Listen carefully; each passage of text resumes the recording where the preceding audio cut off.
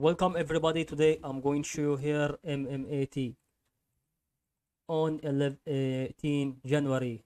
So let's get started on this video today and don't forget to subscribe guys to our channel and like it.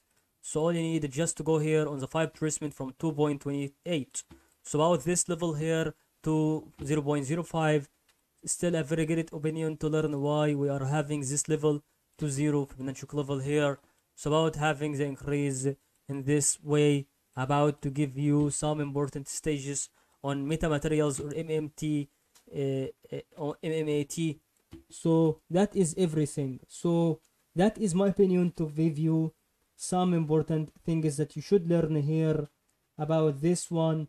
As you can realize that is really giving you some stuff and some things that you co- you should realize here on every single moment.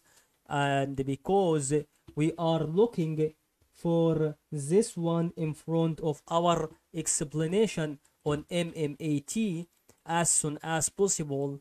Really that is really an opinion to give you that stuff to learn why TTOO is actually right now like this.